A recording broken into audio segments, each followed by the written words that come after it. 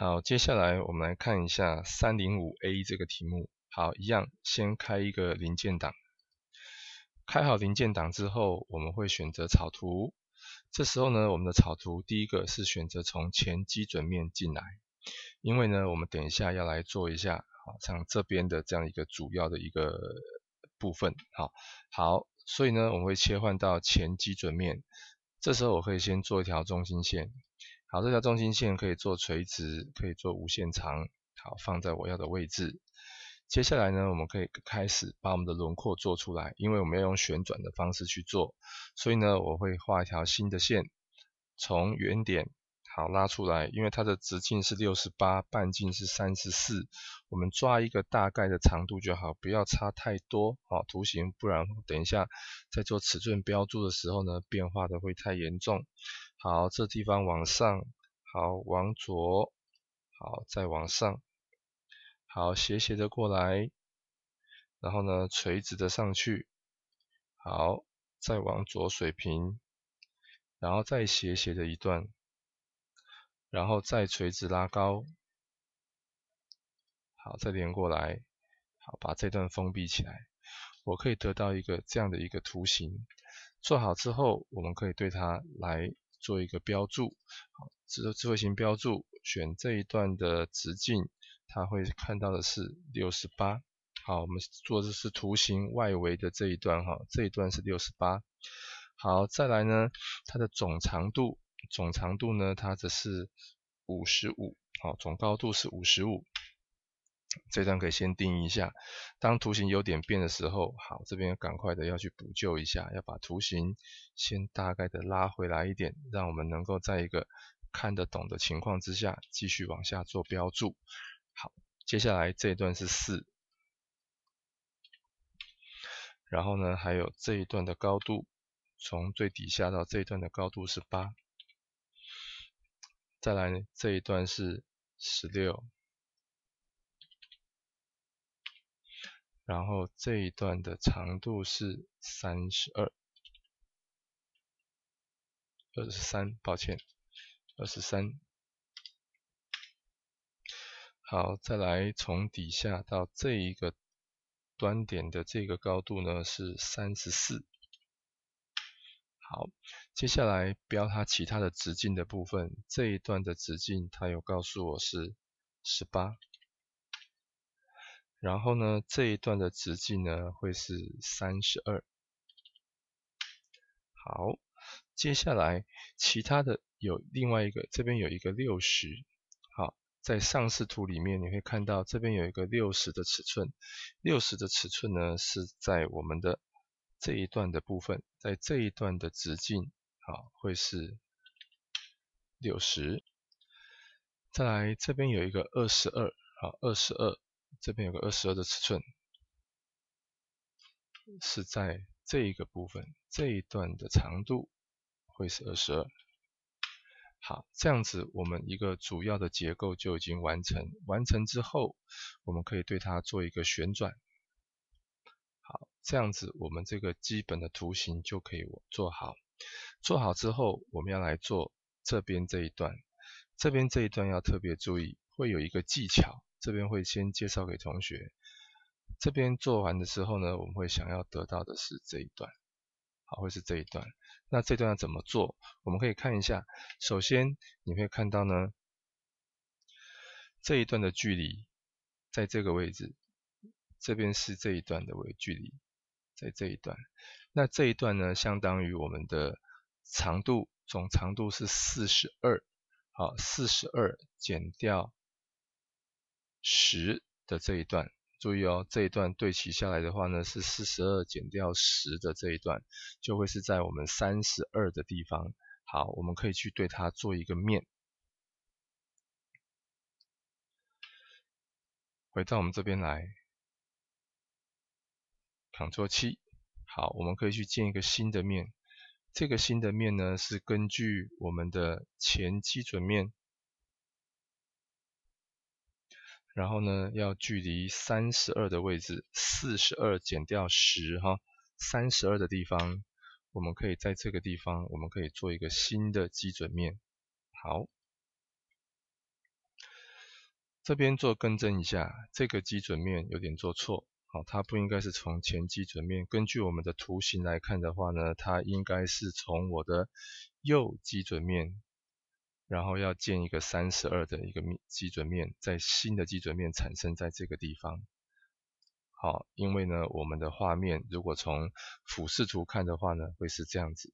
好，这个图形呢，应该会是产生在左侧，在我们这边的左侧。好，方向要一致，比较不会有太大的问题。好，再来，我们得到一个新的基准面之后，我们会选择选择草图，选这个基准面做个草图，Ctrl 八，可以让它再回复一下。然后呢，加一个中心线。好，因为呢，有些东西是要做对称的，我会加一个中心线，会比较好做一点。接下来我们可以拉一个矩形，矩形从这个边拉一个矩形出来。好，要注意要对齐这个位置。好，要对齐这个位置。好，对齐这个位置之后呢，开始对它做下尺寸的标注。这一段的长度呢，图面上有告诉我是十六。十六的话呢，是看的是上面这一段，好，上面这段是十六，然后对它做一个对称的效果，选边，选中心线，选边，好，做一个相互对称十六，然后我们可以加一个圆弧，这个圆弧呢，选这两个点，然后呢加一个三点弧，那这个三点弧这一段可以不要了，好。这边的半径要注意一下，这边的半径呢，因为我们现在所做的位置要搞清楚哈，这个地方稍微复杂一点点。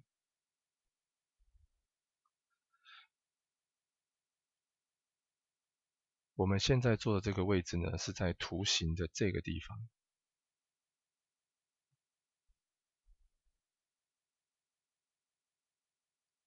是在图形的这一侧。这边是十二，我们做的是图面的中间的地方，好，在这个图面中间的位置，所以说呢，十二加六的一半等于是十五，好，是半径十五的圆。注意哦，我们所找的这个点，并不是最上面，也不是最下面，刚好是这两个圆弧的中间的这个位置，所以说我们今天要画的圆是半径十五的圆。好，这一点要稍微注意一下。